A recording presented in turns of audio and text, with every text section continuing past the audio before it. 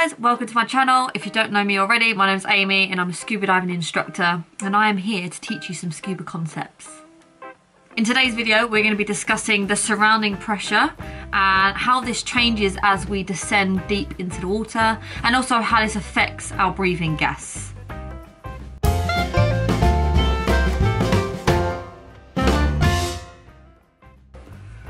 Bonjour!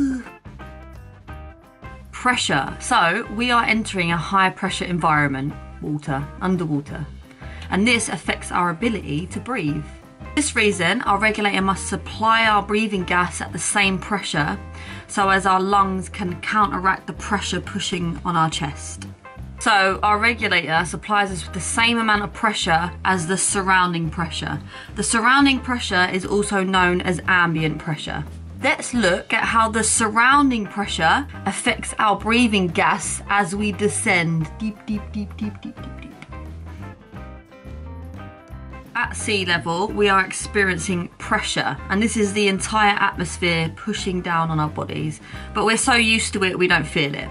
So we measure this surrounding pressure in a measuring system called bar. We are experiencing one bar of pressure at sea level. We only need to descend down to 10 meters and we double that pressure. And so we experience two bar of pressure. We go down to 20 meters, we're now experiencing three bar of pressure.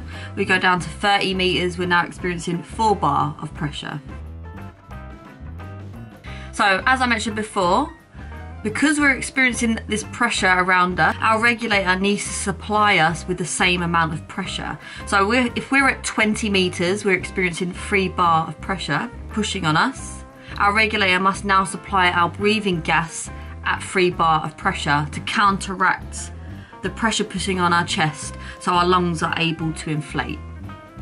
So it's important to remember that the amount of gas is not increasing, but the concentration is. So the concentration of each breath that enters your lungs gets greater the deeper you go. This is why we absorb more nitrogen the deeper we go. Because the deeper we go, the more concentrated nitrogen is in each inhale. Understanding how an individual gas changes, like oxygen and nitrogen, how it changes in concentration as we descend is a very important aspect of diving. And this is something that I'm going to touch on in the up and coming videos. Thanks so much for watching guys. I hope you enjoyed the video. If you have any questions, please put it in the comments below. See you next time buddies. Bye!